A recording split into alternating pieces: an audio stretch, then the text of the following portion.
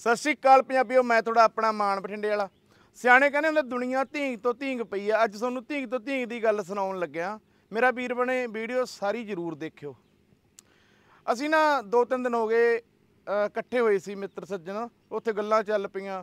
ਗੱਲਾਂ ਕਿੱਥੋਂ ਚੱਲੀਆਂ? ਗੱਲਾਂ ਚੱਲ ਪਈਆਂ ਵੀ ਜਦੋਂ ਕੋਈ ਬੰਦਾ ਲੋਨ ਕਰਾ ਲੈਂਦਾ, ਹਨਾ, ਜਾਂ ਗੱਡੀ ਤੇ ਟਰੱਕ ਤੇ, ਘੋੜੇ ਤੇ, ਕਿਸੇ ਤਰ੍ਹਾਂ ਦੇ, ਹਨਾ, ਜਿਹੜੇ ਹੁੰਦੇ ਆ ਲੋਨ ਵੀ ਜਦੋਂ ਬੰਦਾ ਕਿਸ਼ਤ ਨਹੀਂ ਭਰਦਾ ਤਾਂ ਇਹ ਇਹਨਾਂ ਦੀ ਟੀਮਾਂ ਰੱਖੀਆਂ ਹੁੰਦੀਆਂ ਵੀ ਇਸ ਟੀਮ ਦੀ ਹੈ ਸੜਕ ਤੇ ਡਿਊਟੀ ਆ, ਇਸ ਟੀਮ ਦੀ ਹੈ ਸੜਕ ਤੇ ਡਿਊਟੀ ਆ ਨੰਬਰ ਇਹਨਾਂ ਕੋਲੇ ਹੁੰਦਾ ਹੀ ਆ ਤੇ ਜਦੋਂ ਉਹਦੀ ਕਿਸ਼ਤਾਂ ਟੁੱਟੀਆਂ ਹੁੰਦੀਆਂ ਤੇ ਉਹਨੂੰ ਸੜਕ ਤੇ ਕਿਤੇ ਵੀ ਗੱਡੀ ਉਹ ਮਿਲਦੀ ਆ, ਉਹਨੂੰ ਉਹ ਫੜ ਲੈਂਦੇ ਆ। ਤੇ ਉੱਥੋਂ ਐ ਸਿਆਣੇ ਬੰਦੇ ਬੈਠੇ ਗੱਲਾਂ ਚੱਲ ਪਈਆਂ, ਇੱਕ ਬੰਦਾ ਕਹਿੰਦਾ ਵੀ ਇਹ ਐਂ ਫੜ ਨਹੀਂ ਸਕਦੇ ਜਿੰਨਾ ਚਿਰ ਇਹਨਾਂ ਕੋਲੇ ਕੋਰਟ ਦੇ ਕਾਗਜ਼ ਨਾ ਹੋਣ, ਵੀ ਕੋਰਟ ਨਾ ਕਵੇ। ਜਿੰਨਾ ਚਿਰ ਉਹਨਾਂ ਚਿਰ ਫੜ ਨਹੀਂ ਸਕਦੇ ਵੀ ਚਲ ਠੀਕ ਆ, ਧੱਕਾ ਚੱਲਦਾ ਅਗਲੇ ਨੂੰ ਪਤਾ ਮੈਂ ਕਿਸ਼ਤਾਂ ਨਹੀਂ ਭਰੀਆਂ, ਇਸ ਤਰ੍ਹਾਂ ਹਨਾ ਸਿਸਟਮ ਚੱਲਦਾ ਤੁਹਾਨੂੰ ਪਤਾ। ਤੇ ਉੱਥੇ ਇੱਕ ਗੱਲ ਸੁਣਾਈ ਧੀਂਗ ਧੀਂਗ ਇੱਕ ਵਿੱਚੋਂ ਬੰਦੇ ਨੇ, ਹੁਣ ਜਿਵੇਂ ਉਹਨੇ ਸੁਣਾਈ ਮੈਨੂੰ ਤਾਂ ਜਚੀ, ਸੋਨੂੰ ਜਚੀ ਤਾਂ ਜ਼ਰੂਰ ਕਮੈਂਟ ਕਰਕੇ ਦੱਸਿਓ ਵੀ ਗੱਲ ਇਹ ਹੋ ਸਕਦੀ ਹੈ ਜਾਂ ਨਹੀਂ ਹੋ ਸਕਦੀ ਜਾਂ ਕਿੱਦਾਂ ਵੀ ਕਿਵੇਂ। ਉਹਨੇ ਗੱਲ ਸੁਣਾਈ, ਕਹਿੰਦਾ ਗੱਲ ਹੈਗੀ ਆ 2004-5 ਦੇ ਆਸੇ-ਪਾਸੇ ਦੀ ਉਹਨੇ ਗੱਲ ਦੱਸੀ ਵੀ ਇਨੋਵਾ ਗੱਡੀਆਂ ਉਦੋਂ ਆਈਆਂ ਆਈਆਂ ਸੀਗੀਆਂ, ਠੀਕ ਹੈ ਜੀ? ਪੱਕਾ ਸਾਲ ਨਹੀਂ, ਸਾਲ ਪਹਿਲਾਂ ਮਗਰੋਂ ਹੋ ਸਕਦਾ। ਨੋਵਾ ਗੱਡੀਆਂ ਉਦੋਂ ਆਉਣ ਆਉਣ ਲੱਗੀਆਂ ਸੀ ਤੇ ਕਹਿੰਦਾ ਸਾਡਾ ਕੋਈ ਜਾਣ ਪਛਾਣ ਵਾਲਾ ਬੰਦਾ ਸੀ ਤੇ ਕਹਿੰਦਾ ਉਹਨੇ ਇਨੋਵਾ ਗੱਡੀ ਲੈਣੀ ਸੀ ਤੇ ਉਹ ਏਜੰਸੀ 'ਚ ਗਿਆ। ਏਜੰਸੀ ਵਾਲ ਨੂੰ ਕਹਿੰਦਾ ਜੀ, ਮੈਂ ਗੱਡੀ ਲੈਣੀ ਆ, ਉੱਥੇ ਜਾਂ ਕਿਸੇ ਸੇਲਜ਼ਮੈਨ ਨਾਲ ਗੱਲ ਕਰ ਲਈ ਜਾਂ ਕਿਵੇਂ ਨਾ ਕਿਵੇਂ ਕਰਕੇ। ਉਹ ਕਹਿੰਦਾ ਜੀ, ਮੈਂ ਇਨੋਵਾ ਗੱਡੀ ਲੈਣੀ ਆ, ਮੈਂ ਬੇਸ ਮਾਡਲ ਤੇ ਟੌਪ ਮਾਡਲ ਦੀਆਂ ਮੈਨੂੰ ਕੰਡੀਸ਼ਨਾਂ ਦੇ ਦਿਓ। ਕੋਟੇਸ਼ਨਾਂ ਹੁੰਦੀਆਂ ਨੇ ਕੋਟੇਸ਼ਨਾਂ ਵੀ ਮੈਨੂੰ ਉਹ ਦੇ ਦਿਓ, ਜਿਹਦੇ ਸਾਰਾ ਬਣਾ ਕੇ ਵੀ ਆਹ ਰੇਟ ਆ, ਜਿਹਦਾ ਆਹ ਗੱਡੀ ਆ, ਐ ਬਹੁ ਤੇ ਉਹਨੇ ਟੌਪ ਮਾਡਲ ਦੀਆਂ ਕੋਟੇਸ਼ਨਾਂ ਲੈ ਲਈਆਂ ਤੇ ਲੋਨ ਵਾਲਿਆਂ ਨਾਲ ਗੱਲ ਕਰ ਲਈ ਉਹਨੇ। ਉਦੋਂ ਇਹ ਚੀਜ਼ਾਂ ਕਹਿੰਦੇ ਚੱਲ ਜਾਂਦੇ, ਹੁਣ ਇਹ ਚੀਜ਼ਾਂ ਨਹੀਂ ਚੱਲਦੀਆਂ। ਤੇ ਲੋਨ ਵਾਲਿਆਂ ਨਾਲ ਗੱਲ ਕਰ ਲਈ, ਉਹਨੇ ਟੌਪ ਮਾਡਲ ਦਾ ਲੋਨ ਕਰਾ ਲਿਆ ਤੇ ਗੱਡੀ ਲੈ ਲਈ ਬੇਸ ਮਾਡਲ ਠੀਕ ਆ? ਜਿੰਨਾ ਵੱਧ ਤੋਂ ਵੱਧ ਹੋ ਸਕਦਾ ਸੀ, ਜਿਵੇਂ 80% ਤੱਕ ਕਰ ਦਿੰਦੇ ਆ 90 ਤੱਕ ਕਰ ਦਿੰਦੇ ਆ, ਉਹਨਾਂ ਉਹਨੇ ਫੁੱਲ ਜਿੰਨਾ ਹੋ ਸਾਰੇ ਉਹਨਾਂ ਲੋਨ ਕਰਾ ਲਿਆ। ਤੇ ਗੱਡੀ ਲੈ ਲਈ। ਗੱਡੀ ਦੇ ਜਿੰਨੇ ਦੀ ਪੇਮੈਂਟ ਸੀਗੀ ਏਜੰਸੀ ਵਾਲਿਆਂ ਦੀ ਉਨੀ ਉਹਨਾਂ ਨੂੰ ਪੇਮੈਂਟ ਕਰਤੀ। ਬੇਸ ਮਾਡਲ ਦੀ ਪੇਮੈਂਟ ਕਰਤੀ ਜਿੰਨੀ ਬਣਦੀ ਸੀ।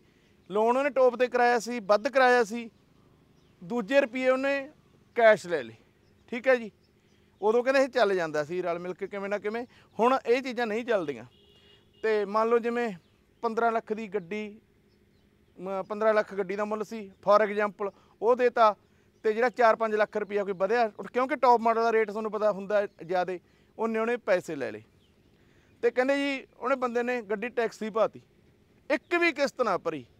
ਬੰਦਾ ਸੀ ਕਿਸੇ ਮੰਤਰੀ ਦੇ ਲੀਡਰ ਦੇ ਨੇੜਲਾ, ਵੀ ਮੰਨ ਲਾ, ਰੱਖਦਾ ਹੀ ਜਾਣ ਪਛਾਣ।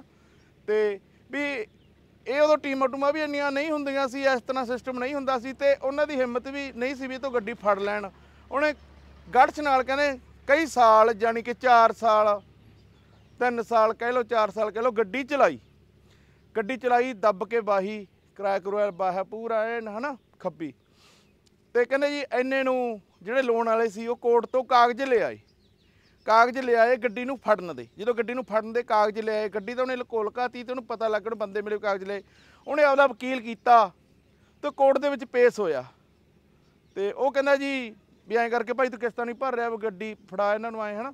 ਉਹ ਕਹਿੰਦਾ ਜੀ, ਇਨ ਮੈਂ ਕਿਸ਼ਤਾਂ ਕਿੱਥੋਂ ਭਰਾਂ? ਠੱਗੀ ਤਾਂ ਇਹਨਾਂ ਨੇ ਮੇਰੇ ਨਾਲ ਮਾਰੀ ਆ।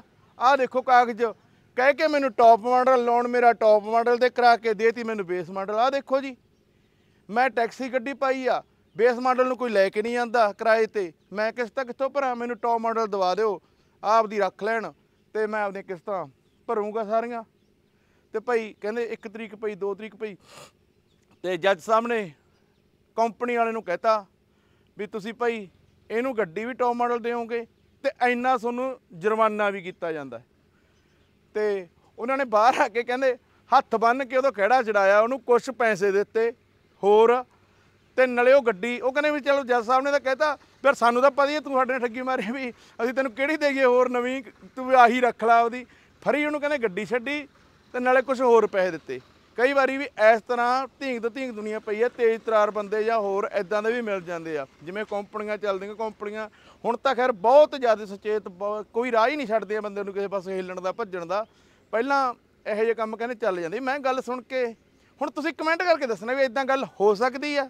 ਜਾਂ ਕਦੇ ਤੁਸੀਂ ਦੇਖੀ ਆ ਆਪਦੇ ਆਸੇ-ਪਾਸੇ? ਜਾਂ ਨਹੀਂ ਹੋ ਸਕਦੀ? ਮੈਂ ਗੱਲ ਤੁਹਾਨੂੰ ਸੁਣੀ ਸੁਣਾਈ ਸੁਣਾਤੀ, ਮੈਨੂੰ ਥੋੜੀ ਜਚੀ ਵੀ ਹੋ ਸਕਦਾ ਠੀਕ ਹੈ? ਗੱਲ ਇਹ ਸੀ ਤੇ ਜੇ ਚੰਗੀ ਲੱਗੇ ਤਾਂ ਸਾਂਝੀ ਅੱਗੇ ਜ਼ਰੂਰ ਕਰ ਦਿਓ। ਧੰਨਵਾਦ ਜੀ। ਸਤਿ ਸ਼੍ਰੀ ਅਕਾਲ ਜੀ।